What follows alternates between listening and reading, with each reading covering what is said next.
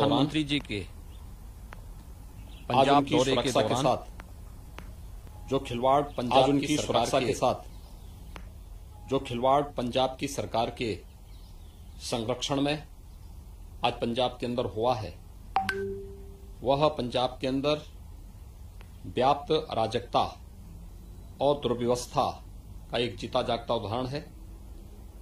कांग्रेस शासित पंजाब की सरकार को देश की जनता से इस बात के लिए माफ़ी मांगनी चाहिए। कांग्रेस सदैव से इस देश की संवैधानिक व्यवस्थाओं की अवमानना करती रही है। इसका एक उदाहरण एक बार फिर से देश ने देखा है। हमारे लोकप्रिय नेता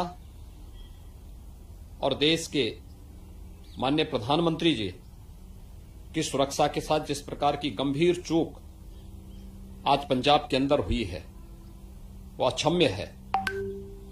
और यह एक शरारत भरा पूर्ण पंजाब सरकार की और कांग्रेस की एक दुरभिसंधि को प्रदर्शित करता है।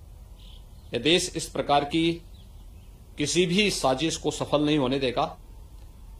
कांग्रेस को और पंजाब सरकार को देश की जनता से माफ़ी मांगनी चाहिए।